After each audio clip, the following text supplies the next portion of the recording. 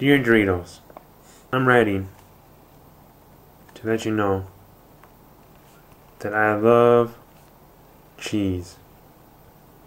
Your nacho cheese should believe that your nacho cheese Doritos are superstitious to my football team.